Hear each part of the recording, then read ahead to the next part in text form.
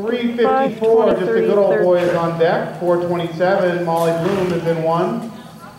There are our final two. They're going to flip flop back and forth here for about six trips, and that will finish us off. So six trips, three jogs, and a half before medium pony.